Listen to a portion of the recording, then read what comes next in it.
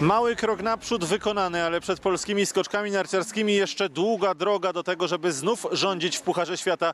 Dziś w drugim konkursie tego sezonu dwóch biało-czerwonych z punktami, ale obaj w trzeciej dziesiątce. Na 21 miejscu Piotr Żyła, na 23 Dawid Kubacki. Polacy skakali dziś trochę lepiej niż wczoraj, ale tak jak powiedziałem na początku, przed nimi jeszcze dużo, dużo pracy. Wczoraj tak by gdzieś tam, nie wiem, miałem dziwnie, bo nie wiedziałem za bardzo co, co, co się dzieje.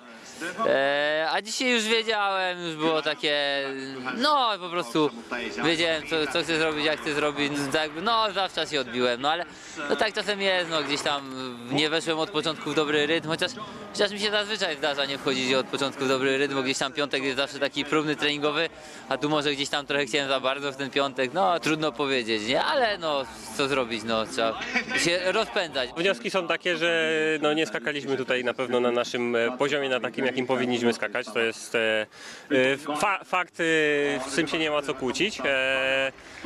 Faktem jest to, że też stać nas na po prostu dużo lepsze skoki. Tutaj się męczyliśmy, każdy pewnie z trochę innych przyczyn, ale też czuję, że do tych dobrych skoków nie tak wiele brakuje, ale trochę jak ta noga się będzie lepiej zbierała, będzie troszkę lepiej trafione, troszkę lepiej nakręcone, troszkę więcej prędkości w powietrzu i to za, z, zaczyna lecieć 5-6 metrów dalej. No i z tego się robi kilka, kilkanaście miejsc do przodu. To są te lepsze informacje. Gorsze są takie, że dwóch Polaków nie oglądaliśmy w dzisiejszym konkursie w ogóle. Kamil Stoch i Aleksander Zniszczą przepadli w kwalifikacjach.